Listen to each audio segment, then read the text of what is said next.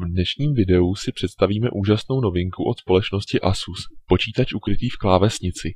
Balení Asus EEE Keyboard PC je velikostně odpovídající běžné krabici od klávesnice, jen o trochu širší.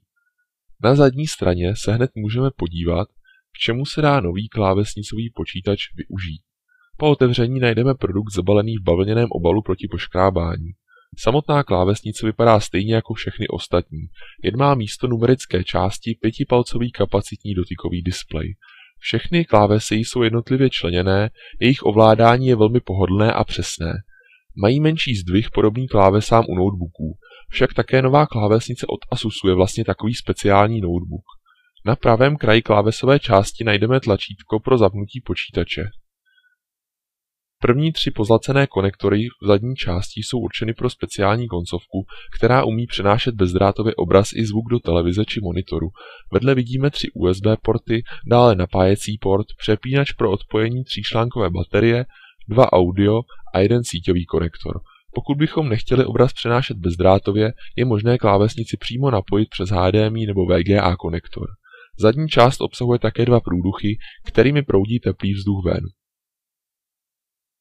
Ve spodní části toho moc k vidění není. Nutno jen vzpomenout, že plasty jsou černé a lesklé.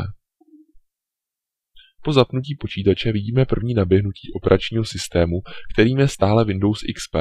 Jedná se sice o starší software, avšak pro potřeby klávesnice je zřejmě tou nejlepší volbou.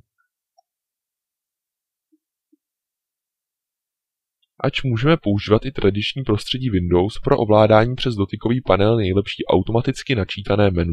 Najdeme zde záložky s internetovými službami a prohlížečem, zábavnou část s fotkami či hrami,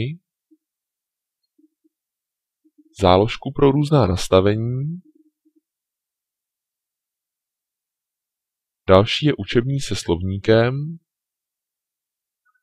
a nakonec také informační, kde si můžeme načíst aktuální zprávy či počasí. Ovládání panelu je velmi pohodlné, přepínání je rychlé a plynulé. V záložce pro internetové služby si pro příklad vyzkoušíme ikonu rychlého připojení na YouTube. Internetové připojení používáme přes Wi-Fi síť, která se nám automaticky nabídne. Na stránce je možné se pohybovat opět dotykově, stejně jako u dotykových telefonů.